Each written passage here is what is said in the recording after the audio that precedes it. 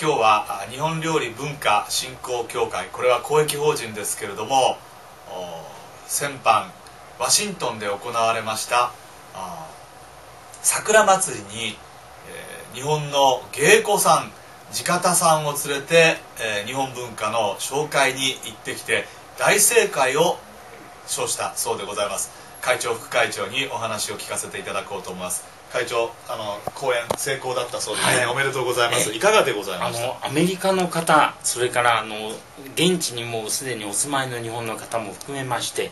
1500人を超える方々が野外の大舞台の周りに、えー、観客として来ていただきまして、もう皆さん大拍手で、大変の成功のうちに帰ってまいりました、ありがとうございました。副会長も行かれたんでございますね、はい、どうでございました？いやもう昨年も行かせていただいてもう去年昨年も増してね盛況だって本当にびっくりいたしました。